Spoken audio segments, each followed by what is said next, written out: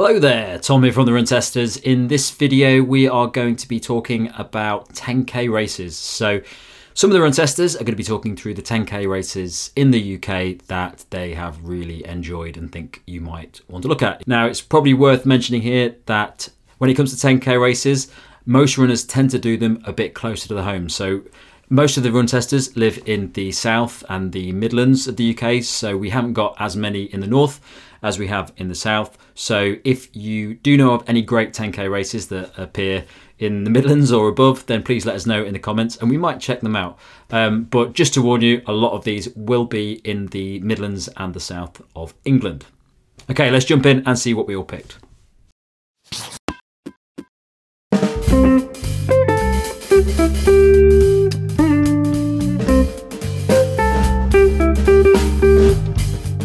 So my first pick for 10k races in the UK is the Lincoln 10k. Now this is a race that is close to home. It's where I come from, so it has a special place in my heart. And it's a race that I actually really enjoy. It's um, one of the biggest races that you can do in Lincolnshire and the Midlands for that for that fact, and it gets a lot of people that come along to do the race. Lincoln is a city that has a lot of history and luckily, the race itself takes part in the top part of Lincoln, where you find the cathedral, where you find uh, Lincoln Castle, and loads of really cool old shops and buildings and things. So it's a nice place to do it, and it actually finishes going through into the cathedral. So it's a really nice race to do if you want to check out Lincoln and find out what it's like and see a little bit of history as well. The race is really good as well if you're looking for a fast time. Uh, Lincoln is actually on a big hill, but all of the race takes place at the top of the hill, so there's no hills within the race that you have to, to do uh, as part of the 10k. So if you're looking to get a fast time, it's a pretty fast course, and I've done some of my fastest times during this race. The race is a sort of figure of eight around the top of Lincoln, so it's really good if you have people coming along that want to watch you run because you can generally find a place to set up camp and you'll probably run, run past two or three times. So it's a really good place if you want to see uh, a runner taking part um, without having to move a great deal. And also because it's that sort of figure of eight race, wherever you go, it's quite easy to get back to the finish line to meet them at the end. So really good spectator event as well. And also because it's that figure of eight, you generally have a nice bit of scenery around where you're going. So you can see the castle for quite a lot of the race. You can see the cathedral, and it's the cathedral is a great place to finish because it's loads of bars out there uh, and it's just really nice, vibrant, excited thing. There aren't many races that take place in Lincoln, so it's kind of a big deal. A lot of cities that are a bit bigger tend to have a lot more races, but this is the the main race I think that happens in um, in Lincoln City, so it's well worth looking at if you're around the area or you fancy a bit of a trip up to see Lincoln because uh, it's one of the areas of the country that I find that a lot of people haven't been to, so it's a nice opportunity to get there and do a race and actually see what it's like. The race takes place in April, so it can be a little bit risky. The um, Lincolnshire around that time of year can be quite warm. It can be really wet. I've done it sometimes where it's fantastic weather, perfect conditions for running. I did it a couple of years ago, and it was probably the wettest I've ever done a race, and everyone was drenched by the end. So keep that in mind if you're thinking of doing it. The weather is a little bit changeable around that part of the country. So most of my races tend to be a little bit longer than 10k, but I have done a few over the years. And aside from the London ones like the Vitality 10k, the uh, British Athletics 10k in London, which are some of my early ones, there's a few that I would really recommend highly. Now, two of those are down in the New Forest. Now, the first is part of the UK Trail Running Festival, an event that was kind of born out of the COVID pandemic when the New Forest Marathon was forced at the last minute to move locations. It switched from where it is just outside Brockenhurst in the New Forest in the south of England in Hampshire over to St Giles Estate in Wimborne, also in the forest but a little bit further across. And they moved all of their races over there, including the 10k. When I was down there in 2020, I ran the marathon on the Saturday and I did the 10k on the Sunday morning. Now, this 10K is a fantastic, I mean, it's a fantastically organised event. You've got a beautiful race village with music and beers and food, and, you know, there's, there's a, a really calm, easy, no fuss start and finish, which makes the event a, a, wonderful, a wonderful thing to be a part of. The run itself takes on some sort of slightly lumpy ups and downs of New Forest trails. You get a mixed uh, bag of terrain from kind of a little bit of compacted gravel, you get some proper trails, get a bit of grass, you get a bit of tarmac. There's actually a little bit of everything in there. There's a little bit of elevation, a little bit of down. It's not too lumpy, and all of those downs definitely make up for the slogs on the up bits.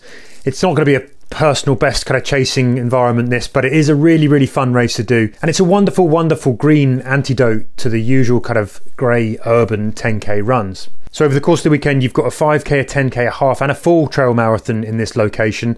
They all start and finish in the same place. So it's kind of a great place if you've got runners who want to do different distances and come as a group, or you've got family who want to stay at the end in the race village, or you want to test yourself over a few different distances. It's a really nice one to come and do, and I would totally recommend it for that. This year, it will take place around the 30th of April, so you also get to see the New Forest in the springtime, which is amazing and the entry to the 10k will cost you £26. First off is the London Winter Run 10k. This takes place every February. It's a good one to get in your diary um, so that when after Christmas, after New Year, you've got something there to encourage you out. Um, it's also really fun. You know you're going to have a, a, great day. It's uh, got loads of atmosphere there. And I think it's a good one for spectators to come along to especially if you've got young kids because there's all the um, people dressed up as huskies that are there cheering you on and penguins and polar bears. Um, so that's really nice for them. Um, it's nice for you when you're running along and uh, seeing the huskies dancing along to who let the dogs out is something that I'll always remember of that race is a great race for the route goes around central London. You start in Trafalgar Square um, and then finish on Whitehall. The there is potential to run fast there if you are a speedy runner. Um, it's got wave starts and they've always they've always had that. It's something that I, a lot of races have brought in since COVID, but um, they've always had that, which has been great everyone the chance to run at the pace that's right for them. So that's at Trafalgar Square, you go off, you see a few sights, see a few huskies, and you'll get a polar bear hug at the finish. And if you like medals, they do very good um, medals each year, so they're really nice thing to collect. So it's £47.50 um, for the standard entry. They do have like early bird ones you that's a lot, yeah, for a 10k, but you know that a sizable amount of that is going to Cancer Research UK. There's a heavily fundraising element to the race, um, but it's always really well organised and well supported, and it's one of my favourites. So I've done a lot of 10k races. I couldn't tell you how many, but I have definitely done a fair few. Most have been in London. Now, I don't know if it's because I'm a Londoner and you know I'm kind of spoilt in terms of being able to run these routes generally anyway. None have been massively memorable for me, so I've had to kind of look outside of London to think about ones that I actually really stood out for me. And I think one particularly that I think of uh, that I've done recently is the River Ness 10K. Now that is the race that I did with Tom um, last year and that race is part of the kind of um, Loch Ness Marathon weekend. Um, so you've got the 5k, uh, a 10k, and the marathon. And the 10k is on the same day as the marathon. Now, the reason I think is a really nice one to do. I think Inverness is lovely as well. It's good to be there for the weekend and the marathon weekend overall. But it is quick. It's flat as well. I wasn't expecting it to be as flat and quick as it was. And if I, I guess if I didn't have a, a marathon, or my, you know, me and Tom didn't have a marathon to kind of track, you know, race the following weekend, I think I probably had a nice good go at it. Um, but it was, as I said, it's a nice flat race. Gets you. It's almost the last part of the um, the marathon course. So you kind of get that kind of finish, that nice finish uh, back into Inverness by the river. And it's yeah, it's as I say, you can have a good go at it if you were there for the weekend, you and someone else is doing the marathon, but you didn't fancy going the full distance, and you wanted a, a nice race to kind of test yourself and you know try and run relatively quick uh, at then that would be a good race to do. As I said, it was a bit of a surprise for me. I wasn't expecting to go up and do that one, but in terms of doing it, in terms of you know, even the support for the 10k, even though the marathon was going, it was very, very good. Still, it's a nice finish when you come into back into Inverness by the river, and I think, uh, yeah, if you're you're up in Scotland, you're up uh, looking for a kind of nippy 10k to do, then that would be one that I would say it's kind of stood out for me.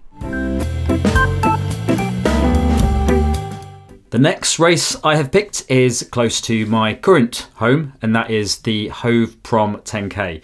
Now, if you don't live in Brighton, um, you probably know you've heard of the Brighton Marathon, the Brighton Half Marathon, and the, the 10K that comes as part of the marathon. Um, but there are so many races that take place on the south coast. There's a lot of runners down here. There's quite a few running clubs, and it's pretty serious business down on the south coast um, with quite competitive level runners taking part in a lot of the races. The races that take place on the seafront, so the promenade, uh, are fairly open to the weather. So sometimes you can have the best conditions ever. It's completely flat, and you can have an amazing race for a PB. If the conditions are not good, you really notice it on, on the on the front. So uh, and people who've ran the marathon a few times will know the difference that the weather can make when you're running uh, down in Brighton. But because there's a lot of races down on the front, a lot of them are quite quite similar. So um, I've picked the Hove Prom 10K because it's probably the one that I think is probably the, the best value for money um, and the most convenient for me. It takes place in October and it's just a very simple, nice race. So you just go along the promenade, come back, very simple. You don't have to worry too much about directions or anything like that. You've also got a great view as well. You run towards the pier and you get to see all of the seafront stuff as you're running along. And it's just a really nice race to go and join in on that isn't too expensive. The race is organised by Nice Work, who do some great races, do loads of races around the UK, um, and they're really good when it comes to managing the race, getting all the chip timing done, everything like that. So it's a well organised race, and definitely want to look at if you're thinking of coming down to the south coast, and you want a, a race that's probably a little smaller than what you would get from something like the Brighton 10K, the Brighton Half Marathon. It's a it's a low key affair. You still get a few hundred people doing it, but it's a little bit more accessible, and there's a, a lot of space. If you're a fast runner and you're looking getting a fast time, and you're, you're, you're you want to gamble with the weather, um, then it's well worth looking at because it is a really fast race on a on a good day. But on a bad day, um, you're not going to get a PB on this race. So number two is the New Forest Marathon 10K, which was the original race, but it's in a different location. This one starts and finishes on a show site in and around Brockenhurst, which is bang in the heart of the New Forest. Again, you've got a kind of very central start and finish area, start and finish race village, where you can camp there. Uh, there's a whole area with kind of food trucks and coffee, and uh, there's a beer bus, and there's music and entertainments for the start and the finish. It's very, very relaxed when you arrive. You know, you it's no fuss, no stress in the morning of the race. Bag drops really super easy in and around any of these races. And you know, the marathon's brilliant. I've recommended that in our, our marathon races video that you'll find on the channel here as well. But the 10k, obviously a little shorter version, a bite-sized version of that is brilliant for any beginner runners who might be doing their first kind of off-roading or even just getting into running for the first, you know, in their early sort of stage of their running sort of uh, journey, this is a great place to go to get a taste of what it's like to run off road. Again, what you're going to be running through some of the most beautiful parts of the New Forest. You're going to experience kind of gravel trail, some ups and downs, bits of road, uh, but essentially your kind of tree lined uh, route, which is absolutely wonderful, epic. It's like a real kind of green feast for the eyes, very, very good for the soul. And again, I would highly recommend it. Now, the same thing happens here on this one. You'll get a 5k, a 10k, a half marathon, and a marathon. They all happen on the same day, though, on the same morning, set off at different times. And that means it's great again if you want to have runners coming in with different distances. There's also a junior run, so it's brilliant for the family if you've got kids, you want to bring them along, give them a chance to run as well. Now, one of my favourite bits about this is there's a really good chance to see loads and loads of the wildlife down in the New Forest. At times, you can, if you're lucky, be running and see ponies galloping alongside you, and it's just such a wonderful, wonderful thing to be a part of. So, the, the races take place in September each year, and this year it's going to be on Sunday, the 10th of September. An entry to the 10k will cost you £32. So next up is the Pride 10K London. It's held in Victoria Park every year and it's organised by the London Frontrunners, which are an LGBTQ plus running club. Um, so the Pride 10K is, is kind of three laps, just under three laps and nice, wide, flat paths. If you know Victoria Park, you know there's a lot of races on there. This is the best one though. Um, so it's really there's a lot of fast running going on there because there's a lot of fast runners in that club and a lot of fast runners from um, surrounding clubs that come and take it on because they know that there's potential to run fast there but there's also people in fancy dress people um, there for a good time or to raise money. The important thing that sets this apart is that it's on a Saturday morning and it's generally it's not too early. The details aren't up for this year, so I can't tell you precisely, but it's usually about 10:30 start, something like that. So it's a good one if you're travelling into London for it because you don't have to get, you know, you'll be able to get public transport in hopefully, and um, it's happens on Saturday, so you can have Sunday to recover because there's a party afterwards at the People's Park Tavern. Everyone's encouraged to go there and um, have a bit of a celebration. So there you go. Put it in your diary when the date comes out. You can find them on Twitter. They they're usually pretty good at spreading the word there. The final race that I picked is the St Albans 10K. Now, I did this race during just after the first lockdown, and I was training quite a lot during the lockdown. And this is where I've got my PB, and I can't beat my PB that I got from this race. It was 38.18, and I've I've got a 38.18 in Brighton on the seafront, um, but I've never got past it. So it holds a special place for me, this race. Uh, and annoyingly, I can't get past it from a couple of years ago. But the race is really enjoyable one to do. It's a road race, but it goes down a lot of smaller paths uh, around uh, St Albans countryside. So it's a really relaxed, enjoyable race to do if you just want to get out of the city and do something that's a little bit more enjoyable. The, the tracks are really nice to run down. Um, they're not too thin, so as long as you get in the right area for your the speed that you're running then it's a nice fast race when i did it it was actually during the time where they were doing stunted starts because of um, COVID measures. So I had no issues at all um, maintaining my place, uh, and there weren't loads of people in front of me. But I think if you were running this race and you really were focused on a time, I would definitely make sure you get further up the front because some of the uh, paths that you run on can be quite thin. So I can imagine there's a bit of a funnel if you're doing uh, this race and you're in the wrong point and you want to get past people. So definitely get further to the front. But I really enjoyed this race. It was really nice, well managed affair. Also felt quite relaxed in comparison to a lot of other races. It felt quite local, uh, which I do. I really like local feeling races in comparison to those bigger races. I do like bigger races sometimes, but if I want, if I'm going for a PB, quite often I find that the ones where it's a more uh, relaxed affair where it's a few less people, it I generally do better in those races. Um, and I like the fact that you don't have to turn up really early for these smaller races as as you, you do for the bigger races where they ask you to come like an hour in, uh, before. So St Albans 10k is a really good one to try and not too expensive either. So my third and final pick is not strictly a race, and I also have to come clean. It's a thing that I organise. It's called the Big End of Year Run. Every year on the morning of New Year's Eve in London, we set off from Marble Arch and we run through some of the, the parks and around the main sites of London on a super slow, easy, casual, turn up and run, chatty, friendly social run. We have a half marathon, but there is a 10k pickup point within that, and you can do a 10k that takes in Hyde Park. You'll run past the House of Parliament, you run past down the Mall, past Buckingham Palace to wave at the King, and uh, you'll see Horse Guards Parade, another big sort of site in London. You'll also go over Westminster Bridge, see Big Ben. All the way along, get to see the Millennium, uh, London Eye, whatever that's called now, over the Millennium Bridge, St Paul's, the wonderful epic view of St Paul's before running back along the embankment to finish in Embankment Gardens. It's it's a great little jaunt around the sights of London on a very very special moment in the year. It's a brilliant way to blow away the cobwebs of Christmas and or you know the holiday season, and also set yourself up to a you know early for a nice New Year's Eve or kick yourself into the new year having already ticked off a lovely run. The group that we get wonderful. It's you run at your own pace. No one gets left behind. It's super casual. It's free to enter and it's called the Big End of Year Run. You can find more information about that on Facebook or follow it over on Instagram.